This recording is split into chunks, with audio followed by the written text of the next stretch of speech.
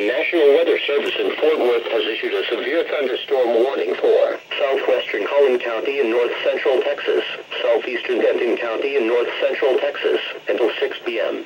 At 5.09 p.m., National Weather Service meteorologists detected a severe thunderstorm capable of producing damaging winds in excess of 60 miles per hour. This storm was located near Frisco, moving southwest at 10 miles per hour.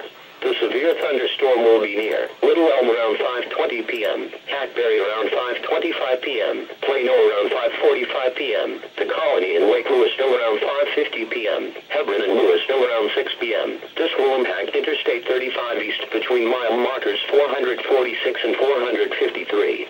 For your protection, move to a sturdy shelter until the storm has passed.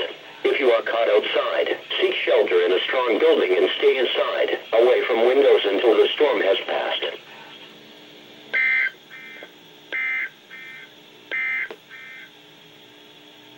The current time is 5:11 p.m. Central Daylight Time.